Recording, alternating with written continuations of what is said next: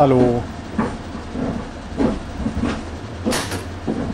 Zu spät sind sie mal wieder. Es kann doch nicht wahr sein. Immer kommen sie zu spät.